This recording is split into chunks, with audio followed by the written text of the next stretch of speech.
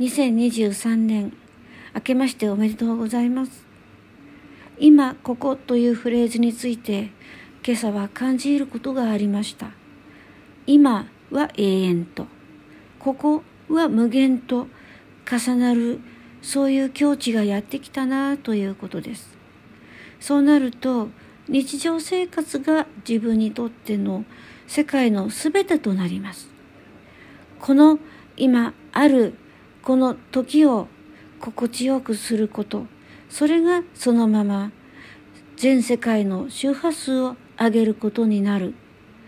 そういうワンネスの境地がやっぱり来たんだなと今実感しています。